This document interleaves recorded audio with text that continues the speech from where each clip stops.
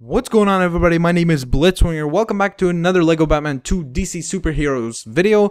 And this is going to be another quick one. This is for the multiplier, the highest uh, quality of multiplier that you can get in the LEGO Batman 2 DC Superheroes game. And that is of course X10 or times 10. So it will allow you to get times 10 what you have ha previously had, which is freaking awesome.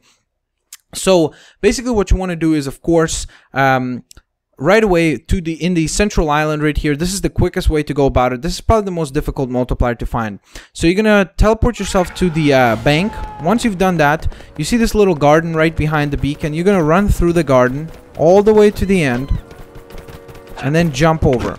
Once you've done that by the way as I mentioned uh, this uh, this particular uh, multiplier is also going to require the assistance of Lex Luthor, so you're going to need uh, Luthor to unlock this one as well right here underneath this giant window is where the um, right here would be the uh, actual multiplier crate. So you're going to deconstruct it and once you've done that with Lex Luthor you'll be able to purchase it. Now this uh, crate is definitely uh, this power brick sorry is definitely the most expensive one. I mean it's half a million studs so it's going to require quite a quite a bit of collecting. And me uh, not knowing about the multipliers prior to playing this game um, I had to actually by mistake purchase the the 10th one first so I, I spent quite a while collecting 500 um, thousand studs. So I definitely recommend unlocking the other multipliers prior to starting this.